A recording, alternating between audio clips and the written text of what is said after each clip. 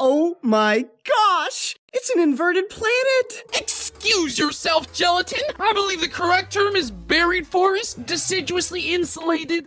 Pumbaa? How can a rock be proud? It's a rock. Well, I think it's because a pride is what they call a group of lions. Oh, sure, the lions get Pride Rock. And what about us meerkats? Where I come from, we didn't have nothing to be proud of. Why? when I was a young meerkat. When he was a young meerkat! Very nice. Thanks. But maybe it'd be safer if I just show him where I came from. Oh boy, do we get to see where you grew up? Yeah, Pumbaa, but it ain't pretty.